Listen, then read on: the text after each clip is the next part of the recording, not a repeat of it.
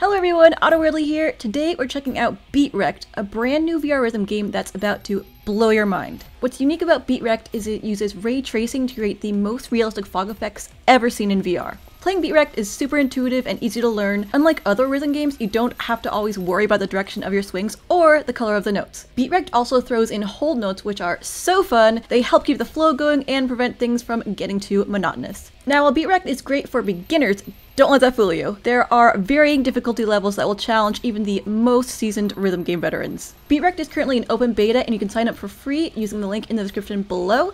Let me know what you think in the comments. Be sure to stick around for my full playthrough of three different levels of varying difficulty, putting my skills to the test for the first time. Let's go!